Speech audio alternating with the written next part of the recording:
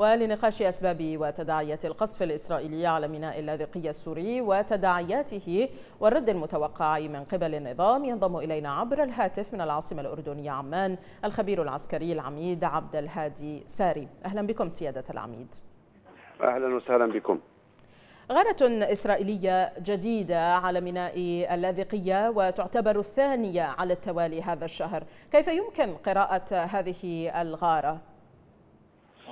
نعم يعني في الواقع الطيران الإسرائيلي أو الغارات الإسرائيلية أو العدوان الإسرائيلي أو يمكن أن نسميه بغير ذلك لأن الأهداف التي يمكن أن يتم توجيه توجيهها إليها هي المخازن أو المستودعات أو الذخائر المرسلة من إيران. وأنا لا أعتقد بأنها عدوان على الأراضي السورية بل هي محاولة محاولة لمنع إيران من التمترس على الأراضي السورية وكما يعني تطمح إيران.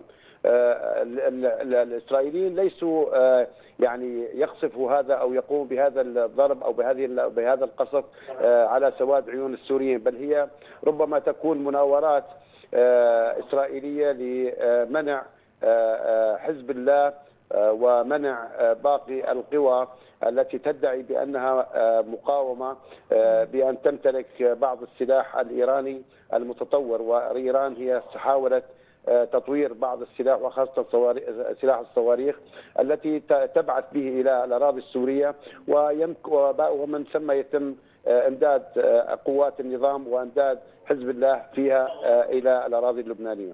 سيادة العميد الدراسة أو يعني ربما يكون درس أو الرسائل المرسلة من قبل تل أبيب بأن تل أبيب هي واعية أو قادرة على أن تقصف بأي مكان، قادرة على أن تنفذ مهام قتالية في أي في أي من الأراضي السورية ضد المصالح الإيرانية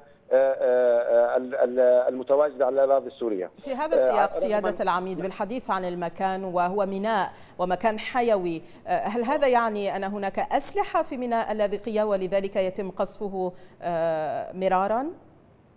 يا سيدتي وسائط الاستطلاع الإسرائيلية من من الوسائط المتطورة جدا وتستطيع كشف يعني كل ما يمكن العمل فيه على الأراضي السورية.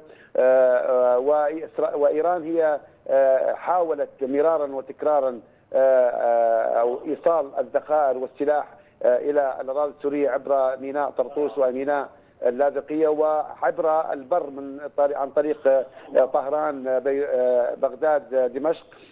والأسلحة الإيرانية متواجدة بكثرة في شرق سوريا. وبالتالي لاحظنا أن القصف الإسرائيلي تركز على المنطقة الشرقية وخاصة في على البوكمال ومدن دير الزور.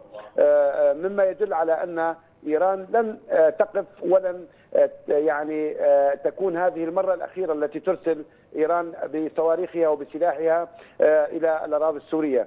ال ال يعني السفن الحربية أو السفن التجارية الإيرانية دائما سواء كانت محملة بالنفط أو محملة بالسلاح هي موجودة على الأراضي السورية من خلال مطار أو من خلال ميناء اللاذقي وميناء طرطوس.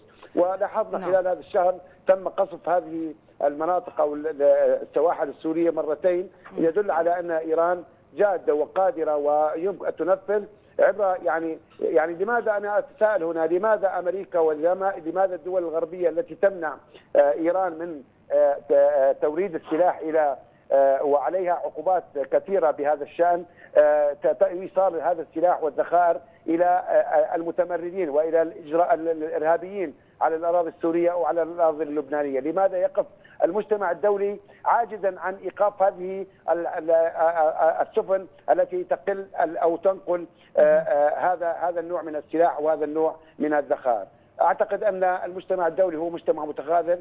لا يريد إيقاف إيران عن على عند حدها، لا يريد أن يجعل من إيران يعني تبتعد عن ما تعمل به على الأراضي العربية خاصة في سوريا ولبنان والعراق واليمن. كل هذه العواصم التي لعبت بأمنها القومي إيران المجتمع الدولي كان له رأيا آخر بذلك. كيف يمكن قراءة تنوع وسائل القصف من قصف جوي إلى قصف بحري؟ كما قالت وكالة أنباء النظام أنها الميناء تعرض لاستهداف صاروخي من عمق البحر الأبيض المتوسط. على الأغلب إسرائيل هي تمتلك سلاح جوي قوي جدا. تمتلك تمتلك سلاح متطور من السلاح الجوي وخاصة الطائرات الحديثة والمتطورة وتمتلك سلاح صاروخي قوي أيضا.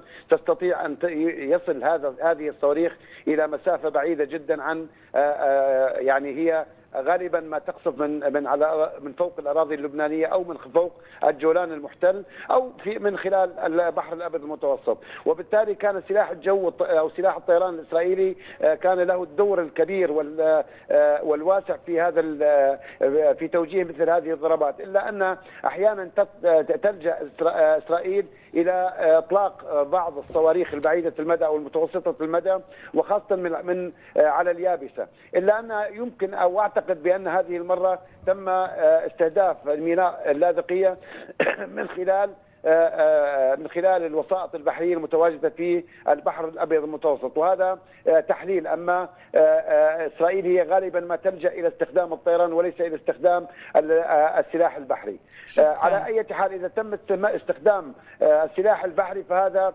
أيضا يتواجد في إسرائيل سلاح بحري متطور وعلى متن صواريخ بعيدة المدى ومتوسطة المدى وقادرة على إصابة أهدافها بدقة. ميناء اللاذقية هو ميناء مكشوف وميناء دفع ثمنه الشعب السوري من دمه وبالتالي تستهدف إسرائيل هذه الموانئ.